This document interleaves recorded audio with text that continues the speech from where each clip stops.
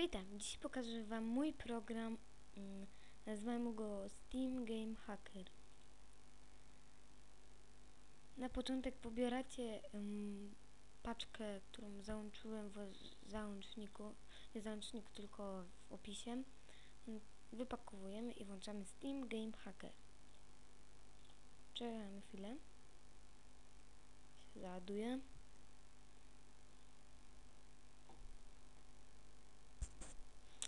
Się nam za, y, zaduje, wpisujemy swój login.